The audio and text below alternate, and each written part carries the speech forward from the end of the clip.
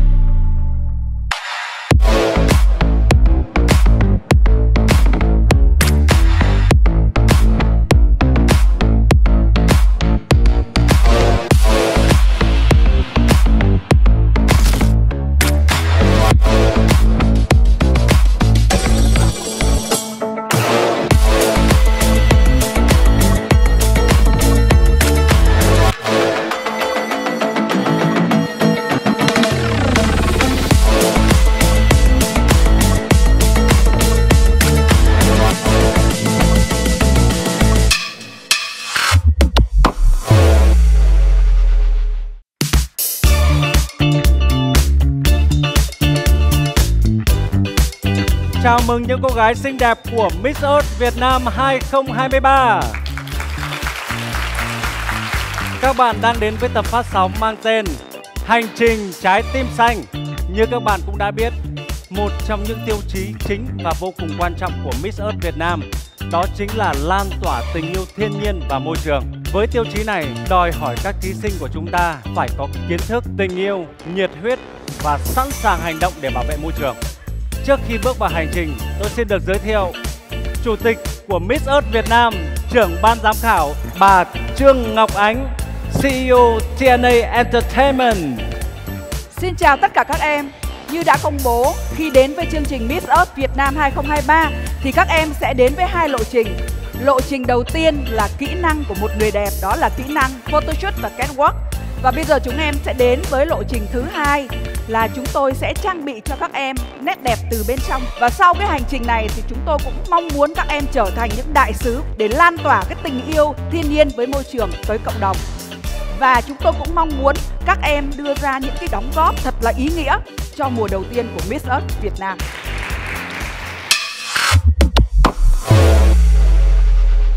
Và ngay sau đây chúng ta sẽ bước vào buổi workshop mang tên Trái tim xanh. Chúng ta sẽ tìm hiểu những vấn đề về thiên nhiên và môi trường cũng như là những giải pháp mà chúng ta đang hướng tới hiện nay. Và bây giờ chúng ta sẽ cùng gặp gỡ chuyên gia và những người đại diện cho các tổ chức về thiên nhiên và môi trường. Đầu tiên tôi xin trân trọng được giới thiệu ông Lê Anh, giám đốc phát triển bền vững công ty cổ phần nhựa tái chế Duy Tân. Xin mời bà Lê Thị Vân Anh, trưởng phòng pháp lý và tuân thủ công ty nước khoáng thiên nhiên Lavi. Ông Khổng Tuấn Anh, điều phối mạng lưới thanh niên hành động vì khí hậu Ynet Việt Nam.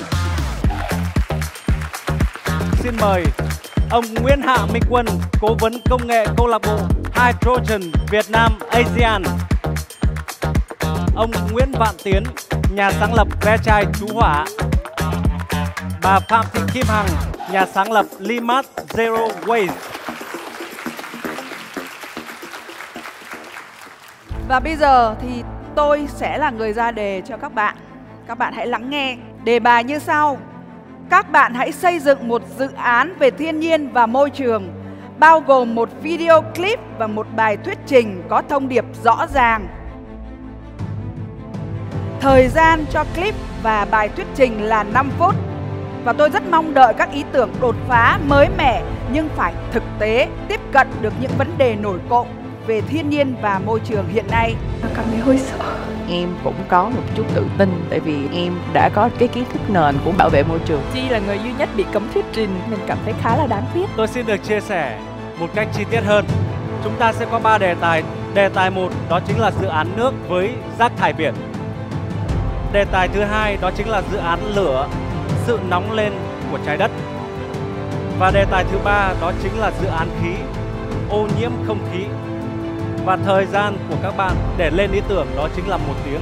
Thời gian để thực hiện là 12 tiếng. Thời gian để hoàn thành dự án là 12 tiếng. Mong muốn của Hà Thu khi mà các bạn thực hiện dự án này đó là trước tiên phải có tính khả thi mặc dù các bạn có thời gian rất ngắn. Song song với đó, chương trình sẽ cung cấp cho các bạn một quay phim chuyên nghiệp và một dựng phim chuyên nghiệp để các bạn hoàn thành clip của mình. Khi các bạn hoàn thành được clip của mình thì các bạn phải thuyết trình trước ban giám khảo. Tôi rất mong muốn thấy được sự phân chia đồng đều của tất cả các nhà là chúng ta sẽ phải có người thuyết trình, sẽ phải có người bảo vệ và phải có người phản biện. Đối với nhóm phản biện, mỗi một bạn sẽ được đặt một câu hỏi duy nhất cho đối thủ của mình. Và đối với nhóm bảo vệ, mỗi một bạn sẽ có một phút để trả lời những câu hỏi mà đối thủ đặt cho đội của mình. Thuyết trình, phản biện và bảo vệ với Hoa ba vị trí này cũng đều quan trọng như nhau. Và chị Trương Ngọc Ánh cho em hỏi tiêu chí chấm điểm của ban giám khảo sẽ như thế nào ạ? Tiêu chí đánh giá thử thách Eco Project gồm có thông điệp và giải pháp 15 điểm, teamwork tối đa là 10 điểm, thuyết trình tối đa 10 điểm, phản biện và bảo vệ tối đa là 15 điểm. Dự án Eco là một phần thi chiếm nhiều điểm nhất từ trước tới giờ, vì vậy mình cũng đã chuẩn bị rất là nhiều. Mình cũng rất là áp lực bởi vì hai tập trước là đội mình đều chưa giành được chiến thắng. Và các bạn sẽ có các anh chị cố vấn và chuyên gia ở đây sẽ giúp các bạn hoàn thành thử thách của mình một cách tuyệt vời và xuất sắc nhất. Và bây giờ tôi sẽ nhường khán phòng này lại cho các chuyên gia hàng đầu về môi trường sẽ ở đây để training cho các bạn những kỹ năng để các bạn có thể hoàn thành xuất sắc thử thách lần này. Rồi, chúc các em thành công.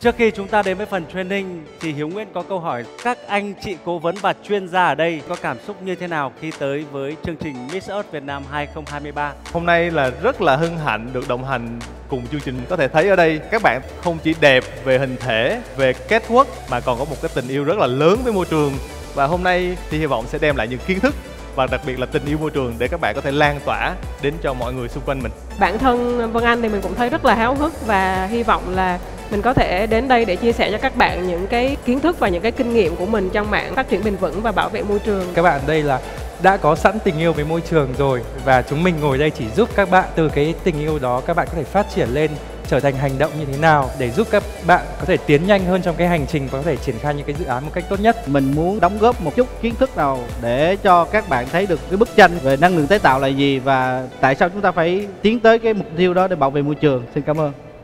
Thú thật mà nói thì bây giờ nó cảm xúc nó rất là lân lân luôn. Bản thân mình xuất phát điểm từ con số 0 Nên mình cố gắng sẽ truyền đạt hết tất cả những kinh nghiệm thực tế Những kiến thức. Bên cạnh đó mình sẽ truyền lửa cho các bạn và luôn phải giành chiến thắng. Hiện tại thì cảm xúc của em rất là háo hức để đồng hành cùng các bạn trên cái hành trình sắp tới. Một cái hành trình mà em nghĩ là rất là truyền cảm hứng cho mọi người có thể lan tỏa được lối sống xanh. Nó sẽ tạo nên một cái tác động tích cực rất là lớn cho môi trường cũng như trái đất.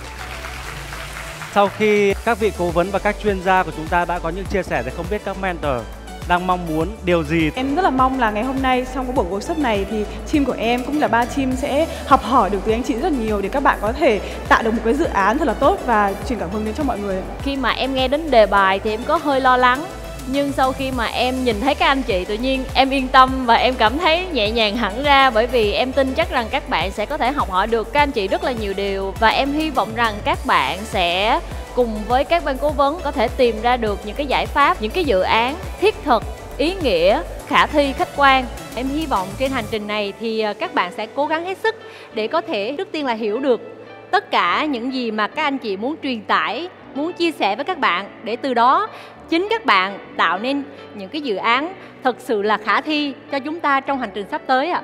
Và ngay bây giờ, chúng ta sẽ đến với phần training chung. Chào tất cả các bạn. Hôm nay thì rất là vui để mà có thể chia sẻ cho các bạn một vài những cái kiến thức tổng quan về phát triển bền vững và giảm thiểu rác thải nhựa trong cái môi trường nước.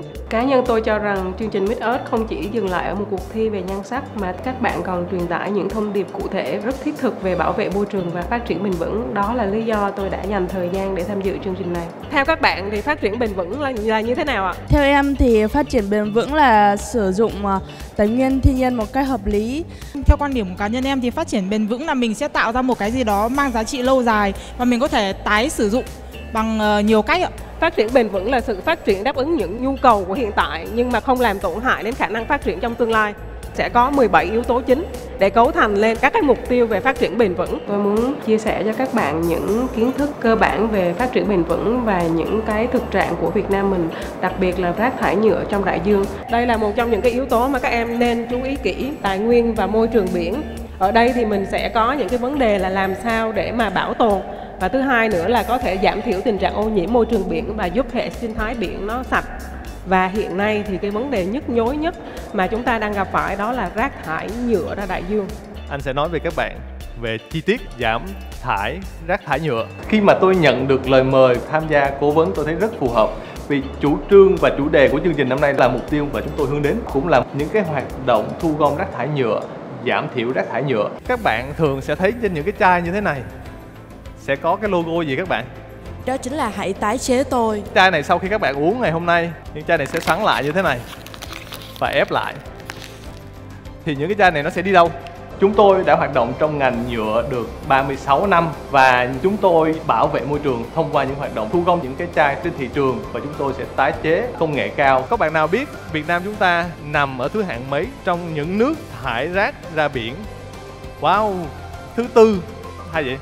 Mỗi năm thì có khoảng 19 tới 23 triệu tấn nhựa thải ra sông và biển. Chỉ có 10% là tái chế thôi. Mình là một cô gái lớn lên ở miền tây sông nước cho nên mình cũng muốn quê hương của mình trở nên xanh sạch hơn. Thì chúng ta hãy nói ra cái khách khác biệt giữa kinh tế tuyến tính và kinh tế tuần hoàn? Kinh tế tuyến tính là khi mình sản xuất ra một cái sản phẩm nào đó mình sử dụng nó xong thì mình bỏ nó luôn. Còn mô hình kinh tế tuần hoàn là khi ví dụ như mình tạo ra một cái chai nhựa sau một cái quá trình sử dụng cái chai đó xong thì thay vì mình bỏ thì mình tiếp tục đem về nhà máy và mình tái chế nó thành một cái sản phẩm khác. Đó là câu anh mong chờ đó. Có thể nói là ngạc nhiên tại vì các bạn có những cái kiến thức mà thực ra là không có nhiều người bình thường có thể biết được kiến thức này. Và hiện nay chai này được làm từ nhựa tái sinh Reborn Plastic. Khi mà một cái chai đã qua sử dụng sau đó được thu gom về nhà máy phân loại xử lý ra hàng nhựa tái sinh lại đóng thành một cái chai thì nó mới tuần hoàn được. Thì mục tiêu của bên công ty anh và à, một số các anh em làm trong ngành rác thải nhựa cao cấp là mong Việt Nam của chúng ta thoát ra khỏi top 10 trong thời gian sớm nhất. Việc này rất là cần sự đồng hành của chính phủ cần sự đồng hành của doanh nghiệp như là Lavi và rất là cần cái sự tham gia của các bạn đây để lan tỏa tinh thần giảm thiểu rác thải nhựa sử dụng nhựa tái chế bảo vệ môi trường hy vọng qua cuộc thi chúng ta sẽ lan tỏa những điều tốt đẹp bảo vệ môi trường để cho môi trường sống của chúng ta xanh sạch đẹp hơn Rồi xin chào các bạn. Phần đầu tiên này thì anh sẽ giới thiệu một chút về những cái kiến thức nền tảng. Sau đó thì anh Quân sẽ giới thiệu cho chúng ta một số cái giải pháp về năng lượng sạch. Nếu bạn ở trong tình huống ờ, nơi bạn sống bị cúp điện cả ngày thì bạn sẽ cảm thấy thế nào và bạn xử lý như thế nào? Ngày em đếm hoảng là tại vì em không biết em nên làm gì. Nhưng mà dần thì em nghĩ rằng là bản thân có thể thay đổi cái nguồn điện đấy bằng năng lượng mặt trời hay là năng lượng gió, năng lượng từ nước. Nghĩa là em có khả năng tự quang hợp đúng không? À dạ không ạ. Trong trường hợp mỗi ngày gia đình bạn phải nấu ăn bằng than tổ ong. Đối với cái case này thì bạn phải nấu ăn bằng than tổ ong, không có nghĩa là nhà em không có điện, thế nên là nhóm chúng em quyết định là sử dụng bếp điện để nấu ạ. Mình đâu thể nào mà mình bẻ ngược lại câu hỏi như vậy được. Em phải tìm ra được những cái giải pháp những cái phương pháp để có thể nấu ăn. Bản thân trang cũng chưa có thể hoàn thiện đến với Miss Earth Việt Nam 2023 đó là một trong những cái nền tảng rất là tốt cho những công việc và phát triển sau này của trang. Thì các bạn trả lời giúp anh là có những ngành nào phát thải nhiều nhất ạ? Nông nghiệp này gì nữa? Giao thông vận tải công nghiệp khai thác khoáng sản một điểm chung trong tất cả những cái ngành đó là chúng ta đều phải sử dụng năng lượng. Khi mà chúng ta nói về ứng phó với biến đổi khí hậu, chúng ta hay nghĩ tới việc là giảm thiểu cái nguồn phát thải. Nhưng còn một cái giải pháp nữa đó là chúng ta phải quan tâm tới những cái nhóm cộng đồng gặp khó khăn nhất, cái người mà không tiếp cận được với những cái giải pháp của chúng ta. Ở Việt Nam đây có con số 2% chưa có điện lưới, thì có khoảng 733 triệu người không được tiếp cận với điện, hoàn toàn không có điện. Công nghệ chưa sẵn sàng, tài chính chưa có, hay là giá cả quá cao một cái câu chuyện để chúng ta suy nghĩ hơn sâu hơn về một cái vấn đề. Khái niệm mà hôm nay mình muốn truyền đạt tới các cái bạn thí sinh đó, đó là các cái vấn đề chuyển đổi về năng lượng tái tạo cũng như là thích ứng với cái xu thế thế giới. Chúng ta nhìn về cái cách chúng ta sản xuất ra năng lượng á nó có hai mặt. Theo trên thế giới hiện nay thủy điện thì không ô nhiễm nhưng các bạn chắc chưa Em nghĩ là trong cái quá trình xây dựng thủy điện là mình sẽ tác động đến tự nhiên rất là nhiều. Đều phải sử dụng một cái tổng diện tích đất rừng rất là lớn và phải săn lấp mặt bằng Cũng như là phải đào sông, ờ, đào hầm, xuyên núi. Đúng như bạn nói Nhưng mà nếu chúng ta không làm như thế Chúng ta không có cuộc thi hôm nay luôn. Các bạn không được ngây thơ khi nhìn về các vấn đề năng lượng. Theo mình nhận thấy thì các bạn có một cái nhận thức cơ bản về các cái nguồn năng lượng nhưng mà đôi khi thông tin thì nó chưa đủ, đôi khi nó còn thiếu sót. Cái giải pháp đối với các cộng đồng mà họ rất là nghèo, chưa tiếp cận được như anh Tuấn Anh nói. Thì đây là những cái giải pháp mà về cái năng lượng solar, tức là chúng ta phi tập trung hóa.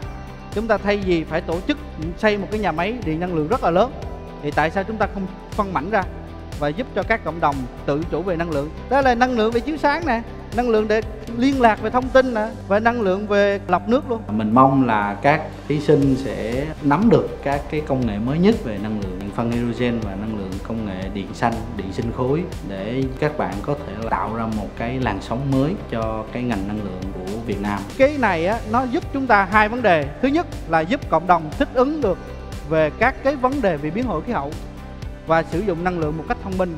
Thứ hai nữa chúng ta có thể lan tỏa được cái thông điệp về sử dụng năng lượng và tái tạo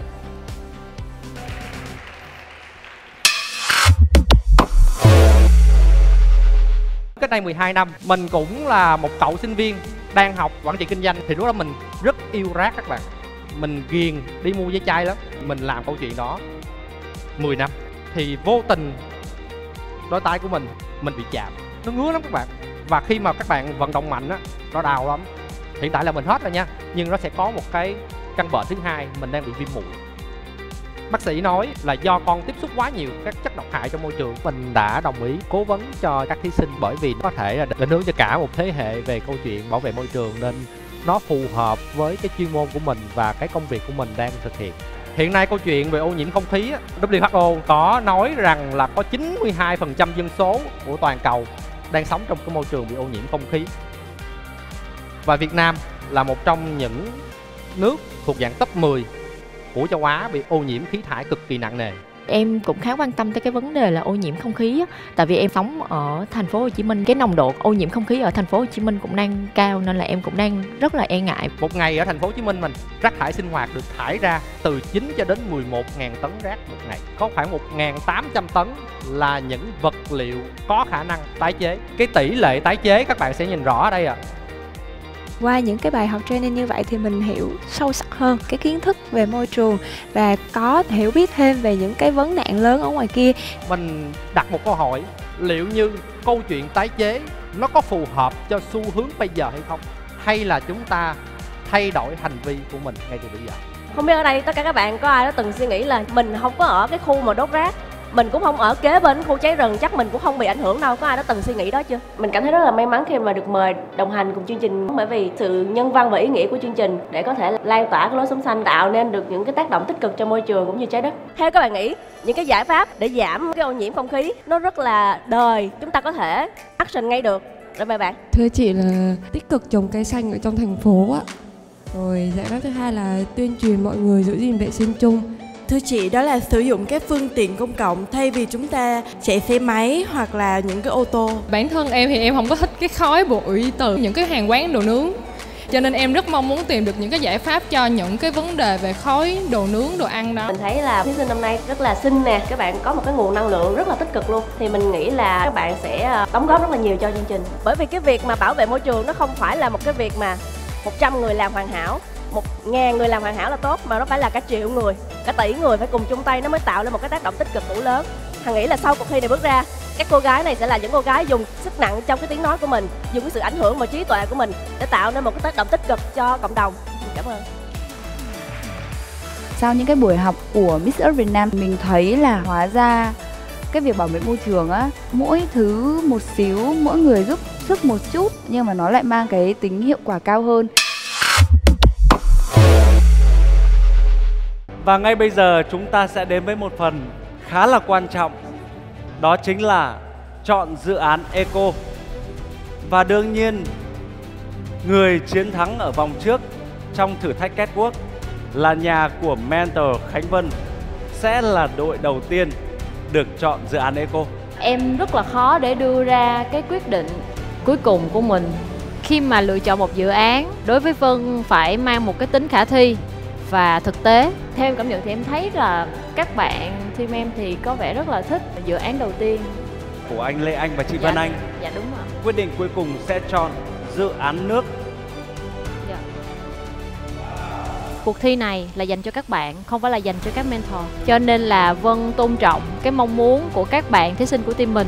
Và tiếp theo, nhà có số điểm cao thứ hai ở thử thách catwalk lần trước, mentor Bùi Quỳnh Hoa. Sự là cả ba nhóm cố vấn em đều rất là thích nên là cũng ờ, khá là khó. Team của em sẽ chọn đồng hành với anh Tuấn Anh và anh Minh Quân ạ. Quyết định cuối cùng của Bùi Quỳnh Hoa đó chính là dự án lửa, là sự nóng lên của trái đất. Dạ. Và nhà nguyên tố cuối cùng, mentor Hà Thu sẽ về với dự án khí. Đó chính là ô nhiễm không khí. Cố vấn đồng hành cùng dự án khí anh Vạn Tiến và chị Kim Hằng. Đây là một cái duyên khi mà team nguyên tố không khí lại được thực hiện luôn dự án về việc bảo vệ môi trường không khí của chúng ta. Em thấy các bạn thí sinh của nhà không khí đang cười tươi quá, không biết có ý gì.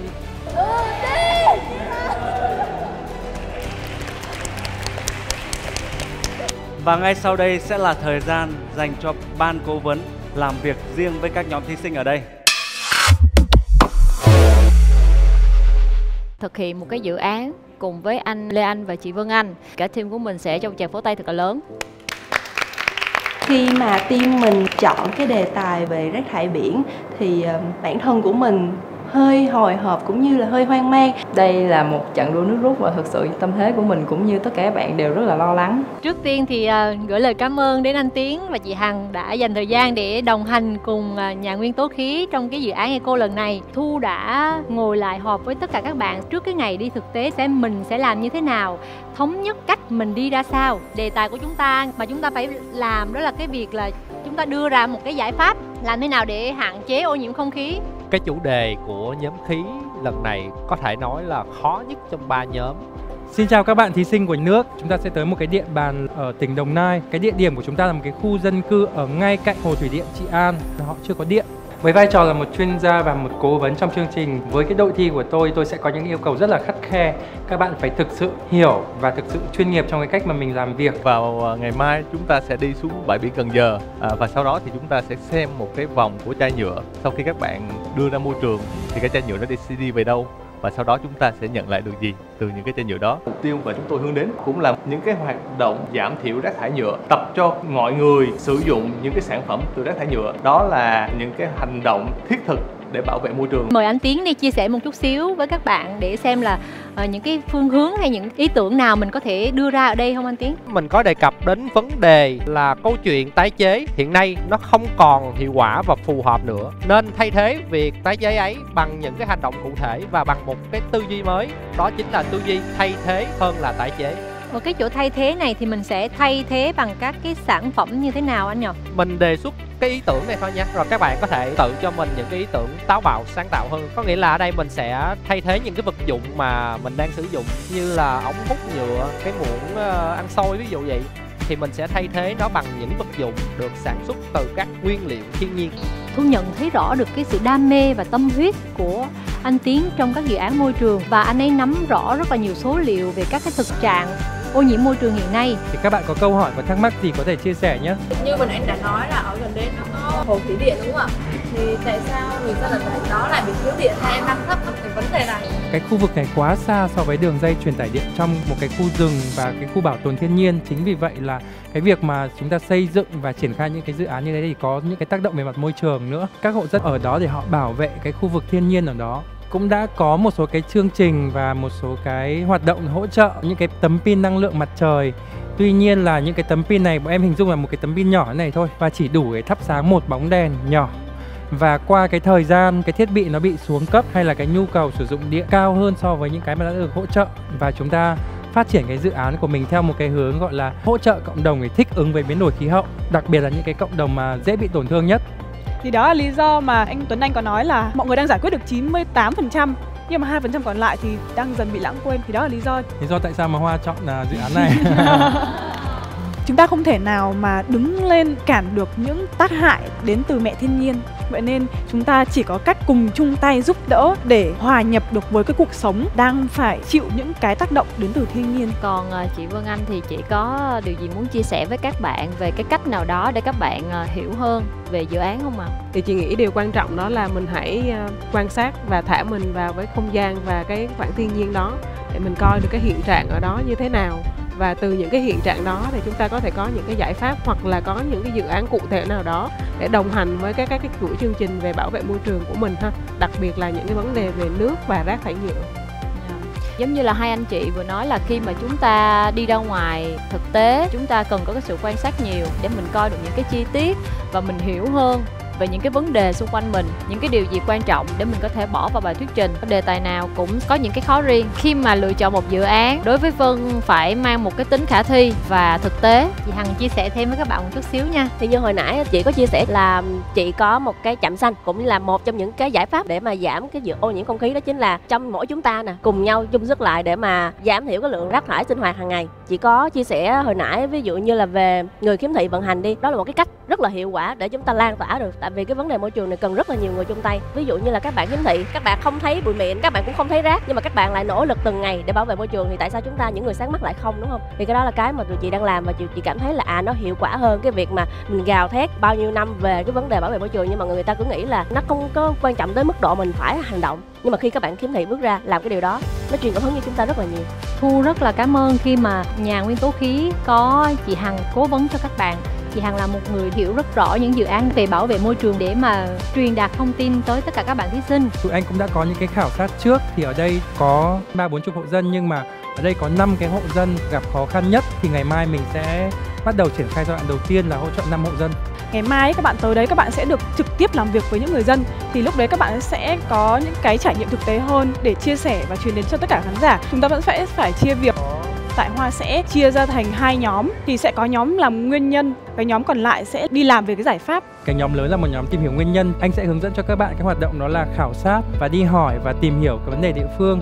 Một nhóm thứ hai là giải pháp đúng không? Thì các bạn sẽ tham gia cùng với team kỹ thuật lắp đặt cũng như là hướng dẫn hộ dân sử dụng. Cũng đã có hai nhóm rồi thì mọi người bạn nào muốn vào nguyên nhân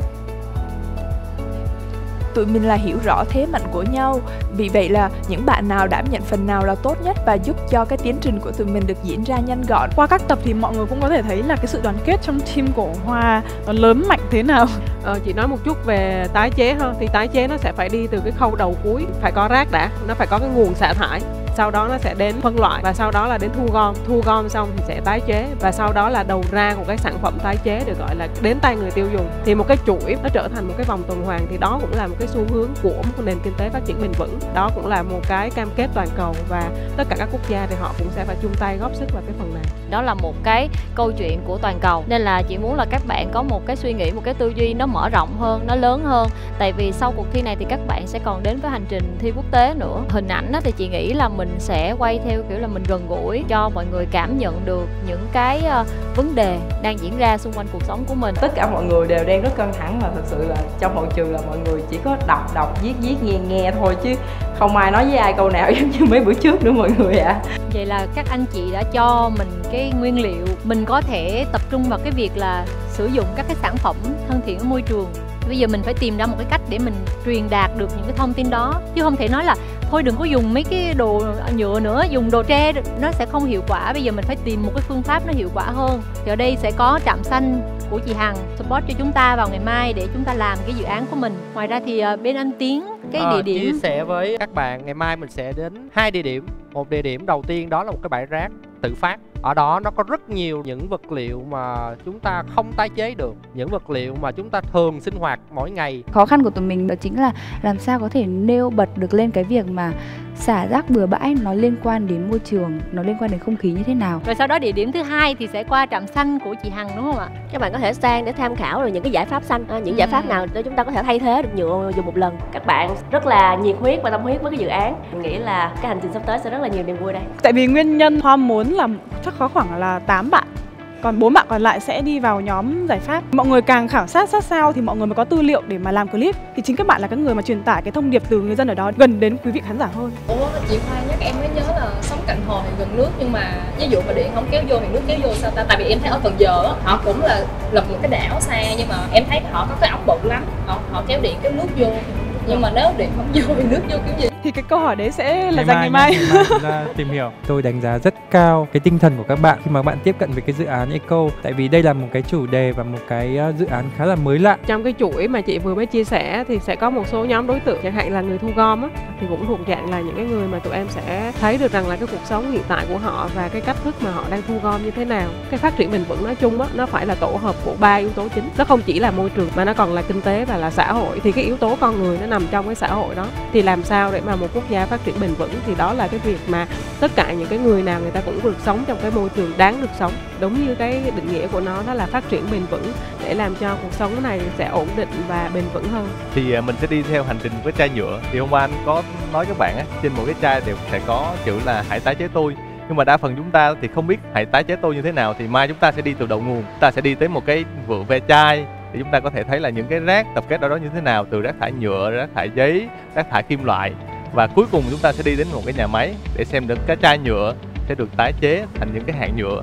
Và hạt nhựa đó đặc biệt có thể thổi ra những cái chai khép kín cái vòng tuần hoàn mà hiện nay thì đã có thể tái chế lên đến 50 lần. Rất là thú vị tại vì từ đó đến giờ mình nghĩ là những cái chai này nó chỉ được thu gom lại xong rồi lại đặt một góc nào đó chứ không hề nghĩ là chúng có thể tái sinh nhiều lần đến như vậy. Chỗ bãi rác mình cũng đến để nắm được cái tình hình là cái rác thải hiện tại nó như thế nào thôi. Rồi sau đó mình phải tìm những cái sản phẩm thân thiện môi trường bên chỗ chị Hằng. Thì cũng là tham khảo để mình biết được những cái sản phẩm nó như thế nào. Rồi sau đó cái câu chuyện mình muốn truyền tải tới mới là cái giải pháp. Mình phải tập trung vào cái vấn đề ô nhiễm không khí. Nếu mình đi lan man quá thì mình sẽ bị đi vòng vòng. Và ban giám khảo hoặc là các bạn khác sẽ hỏi ủa là đang giải quyết vấn đề gì vậy? So với hai thử thách trước thì mình thấy ờ, thử thách này ờ, khó hơn rất là nhiều. cái buổi họp nó diễn ra khá là gấp cho nên là mọi người thì đang hoang mang tại vì quá nhiều thứ để phải làm. Em nghĩ là như đây thôi là mình đã bàn được cái nhịp để mà ngày mai mình sẽ bắt đầu mình đi ra ngoài mình quan sát thực tế để các bạn có thêm những cái cảm nhận sâu hơn. Và sau đó thì mình sẽ cùng ngồi lại với nhau à, đưa ra những cái nội dung cho một cái bài thuyết trình. Ngày mai khi mà các bạn bước ra ngoài hiện trường các bạn xem những cái hình ảnh ở ngoài đó thì các bạn hãy coi những cái điều gì cái điểm nào làm cho mình cảm thấy nó đặc biệt uh, thu hút và mình sẽ dẫn dắt vào câu chuyện và sau đó mình sẽ nói vào những cái ý chính cái kết của mình hãy mở ra một cái thông điệp thật là hay. Ok ha? Rồi. Chúng mình đã có sự hỗ trợ từ anh Lê Anh và chị Văn Anh khá là cụ thể, rõ ràng. Và chúng mình tin rằng là team của mình đã có những cái chiến lược nhất định. Bây giờ trước mắt là các bạn cứ về nghỉ ngơi. Ngày mai mình đến bãi rác, Mình xem cái tình hình đó như thế nào. Mình sẽ nhặt rác ở đó Và nhờ anh Tiến sẽ hướng dẫn cho tất cả các bạn Cái cách mà phân loại rác như thế nào. Thì đó là cái bước mà Thu nghĩ là gần nhất. Sau đó tiếp theo mình sẽ làm gì với các sản phẩm thân thiện môi trường Ở bên chỗ chị Hằng. Hy vọng là ngày mai chị em mình sẽ có những cái ý tưởng gì đó nó đột phá Để kịp chuẩn bị cho bài thuyết trình sắp tới ha. Rồi mấy đứa cảm ơn ờ, anh Tiến chị Hằng nào đã thức khuya cùng các bạn. Mentor Hà Thu cùng với là hai ban cố vấn đã giúp tụi mình có thể mà sâu chuỗi những dự án lại với nhau và xây dựng một cái đường dây một cách thật là chỉnh chu. Thu thấy có khá là nhiều thí sinh chủ động đóng góp ý kiến của mình vào cái dự án ví dụ như Quỳnh Trang, ví dụ như Như Nguyệt. Bên cạnh đó thì cũng có những bạn chưa chủ động thì Thu hy vọng là các bạn sẽ đam mê hơn, sẽ nhiệt huyết hơn để mà cùng với Hà Thu làm cái dự án này. Bởi vì sau cùng thì Hà Thu chỉ là người hỗ trợ các bạn thôi chứ không phải là người thực hiện dự án này cho các bạn. Ngày mai trước khi mà chúng ta đi thực địa thì anh sẽ hướng dẫn thêm cho các bạn một số cái công cụ và một số cái kỹ năng dành cho cái nhóm à, tìm hiểu nguyên nhân. Với các nhóm giải pháp thì ngày mai cũng sẽ có các bạn kỹ thuật để hướng dẫn chúng ta cái thao tác mà chúng ta cần làm là gì, chức năng cũng như là nhiệm vụ của từng cái bộ phận ở trong cái bộ giải pháp của chúng ta là như thế nào. Vậy thì ờ, những cái bạn giải pháp cũng rất là quan trọng. Bởi vì những cái bạn mà giải pháp thì các bạn sẽ phải trả lời cho ban giám khảo biết là cái cách sử dụng của cái pin đó Tất nhiên là phải nhờ anh Tuấn Anh tiếp tục Cảm ơn các bạn. À, bây giờ ok cố gắng lên nha One to team Yeah! Cái điều mà Hoa cảm thấy tự tin trong cái dự án lần này đó chính là sự nhiệt huyết, niềm đam mê Đặc biệt hơn là cái tinh thần teamwork của các bạn đang cùng nhau nỗ lực để tạo ra một cái dự án lớn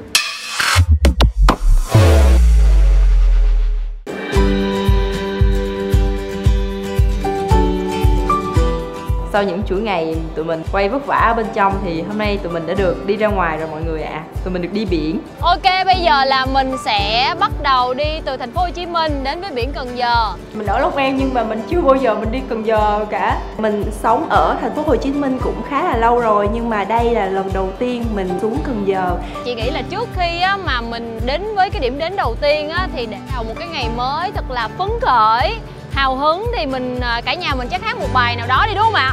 Mình tương tác, mình giao lưu đi, bài gì ạ? Ok, rồi, mình bây giờ ba hai một, mình hát bốn phương trời nha. Ba, hai, một. Bốn phương trời, ta về đây chung vui. Không phân chia, giọng nói, tiếng cười.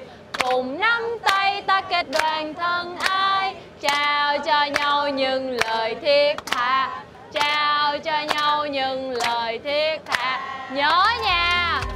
câu cuối là trao cho nhau những lời thiết tha. Đó ráng tí nữa mà mình thiết tha mình làm dự án giùm tôi cái nha mấy bà. Thiệt luôn á sợ quá đi. Vì là được ra biển cho nên là cảm thấy rất là hứng thú rất là mong đợi. Vì rất là lâu rồi mình cũng không được có ra biển á. Sao mà chị thấy mấy đứa vui quá trời á? Là mấy đứa thi hay chị thi vậy? Mà chị áp lực quá trời mấy đứa không lo hả? Ủa trời ơi ủa dự án của mấy đứa chứ phải dự án của chị đâu. Dạ à, à, em nghĩ là tụi em lo một phần nhưng mà chị lo một phần Ê chị không biết là chị làm mentor hay là chị làm gì ghẻ nữa. Bây giờ mình chú ý nhìn sang phía bên tay phải nhá Thì chúng ta sẽ nhìn thấy đập thủy điện uh, Trị An. Đó Và đập thủy điện này thì được đưa vào khai thác vào năm 1987 á. Lát nữa thì chúng ta sẽ đến um, cái khu vực uh, của các hộ dân sống xung quanh uh, hồ Trị An. Mà lát nữa chúng ta tới chúng ta sẽ quan sát và mình sẽ trải nghiệm và mình sẽ hỏi người dân ở đây đó là họ đang gặp khó khăn như thế nào. Hồi hộp quá đi ngày hôm nay á, là mình rất may mắn khi mà mình có hai anh chị cố vấn ở đây. Rất là xịn luôn. Nên là các bạn cố gắng là mình suy nghĩ ra thật là nhiều những cái câu hỏi để mà mình có thể đặt ra những câu hỏi khó nhất cho hai anh chị ở đây để mà mình có thêm những cái kiến thức đến lúc mà mình thi á, và mình à, thuyết trình á, thì mình sẽ biết cách để mà mình nói. Và nhớ là tới cái chỗ mà cái địa điểm chính thì mình cố gắng là mình tập cái cái gọi là quan sát. Quan sát nhiều hơn kỹ hơn để mà mình nắm rõ những cái tình hình. Và mình hiểu thì khi mà mình hiểu thì các bạn sẽ nói theo cái cách hiểu thì nó sẽ khác với cái việc là các bạn học thuộc nha. Rồi cố gắng đây cũng là cái dự án rất là quan trọng trong cái cuộc thi và năm nay á, là Miss Earth Việt Nam 2023 đem đến cho các bạn những cái hành trình rất là tuyệt vời thì chị hy vọng là các bạn sẽ tận hưởng và cùng nhau cố gắng và mình sẽ thể hiện thật là tốt và ngoài cái việc là trong cuộc thi năm nay thì chị cũng hy vọng rằng cái dự án của các bạn trong cái cái hành trình này sẽ có thể thực hiện sau cuộc thi nữa đúng không anh chị? Dạ. Yeah. rồi cố gắng lên nha. Dù là phải đi lúc 5 ờ, giờ rưỡi sáng nhưng mà mọi người rất là hào hứng. Hồi hộp quá à. Thì em hồi hộp ghê, thật ra mà nói á, em có cảm giác như em đi thi lần nữa vậy đó. Em không biết mấy bạn hồi hộp không chứ em thật sự em rất là hồi hộp luôn. Nên là em hy vọng rằng ờ, các bạn sẽ thành công. các bạn sẽ roll up giống như ờ, phần kết quốc vậy đó dạ Đầu đúng anh rồi nghe nói là các bạn cũng rất là chúng ta có niềm tin anh dạ. biết chứ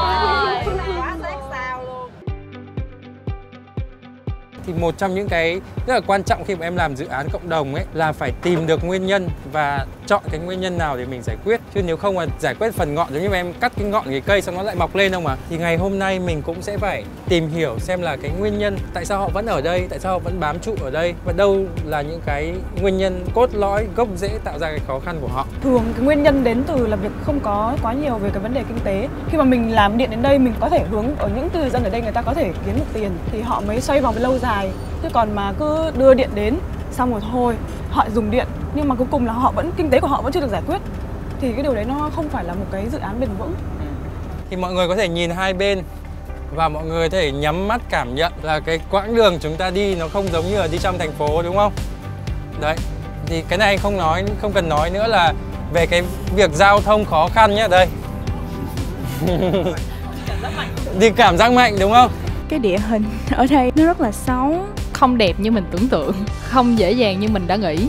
Cái cung đường thì mà đi thì rất là khó khăn luôn á và mình không hiểu là những người dân sống ở trong đó thì họ phải nỗ lực như thế nào. Ở đây là xã Mã Đà ở Đồng Nai thì như mọi người cũng đã biết là nó nằm sâu trong rừng và cạnh thủy điện Trị An nhưng mà có một cái nghịch lý ở đây ấy người dân sống sát bờ hồ lại không có điện. Đó là Đấy. cái mà mọi người cần bám vào để mọi người thấy được là cái đối lập tại sao ở hồ thủy điện mà những người dân lại không có điện? Thì cái này mà là mọi người cần phải đưa vào clip của mình. Đúng. Ờ. khi mà hoa tới mã đà cái điều mà hoa còn cảm xúc hơn nữa đó là ở trên đấy không có sóng. Mọi thứ đều rất là thiếu thốn. Thấy rất là lạ khi mà họ sống sát bên đập thủy điện Hồ Trị An. Nhưng mà một điều rất là ngược lại là họ không có điện ở đó. Biết là mấy đứa là đi làm mấy hoạt động mấy đứa vui. Này vô ít thôi.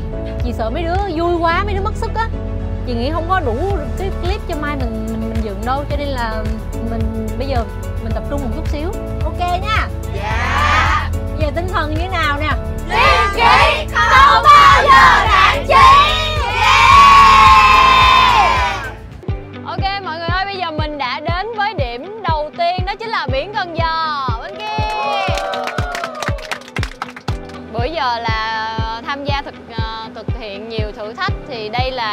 tiên mà mình được đi ra ngoài và trải nghiệm thực tế đúng không? Cho nên là tí nữa khi mà các bạn xuống dưới đây thì các bạn ờ, tận hưởng và mình cố gắng là mình tìm ra những cái điều gì đó đặc biệt, những cái đặc điểm rồi chi tiết những cái hình ảnh nào đó để mà mình có thể đưa vào cái bài thuyết trình của mình cùng với lại dự án Eco của nhóm mình ha.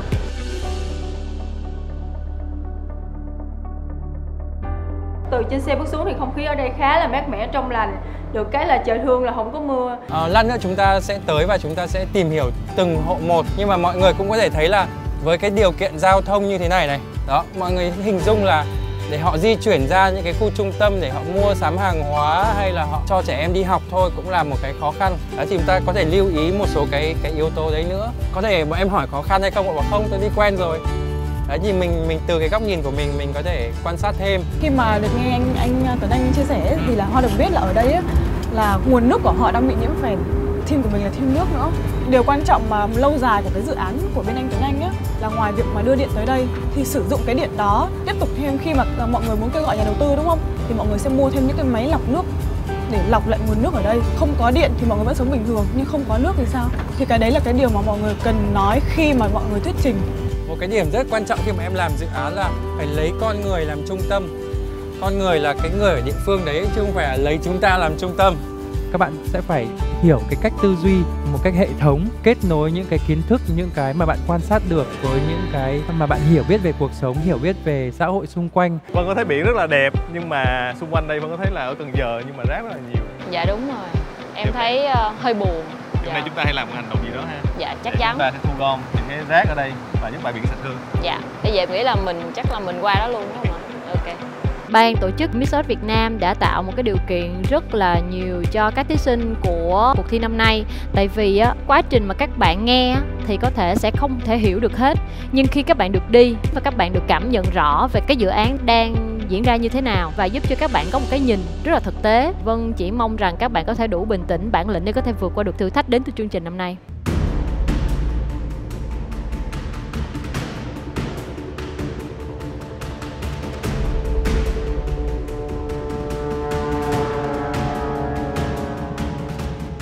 Vào ấy lần đầu tiên là mình có một cái cảm giác mà nó ngột ngạt và nó khó thở như vậy.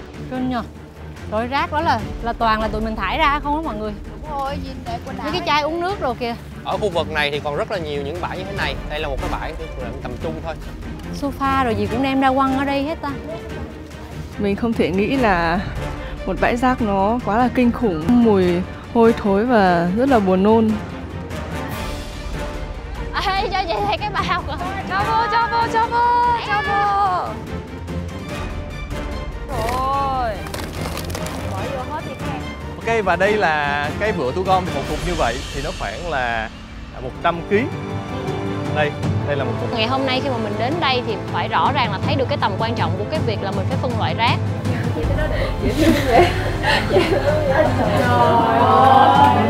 Mấy cô này làm khó em quá giả tiền lên thôi vậy hả? chấm chấm miếng nước trà cho coi sẽ chuyển đen lên. Đấy, là nó chất phèn nhiều nó đen.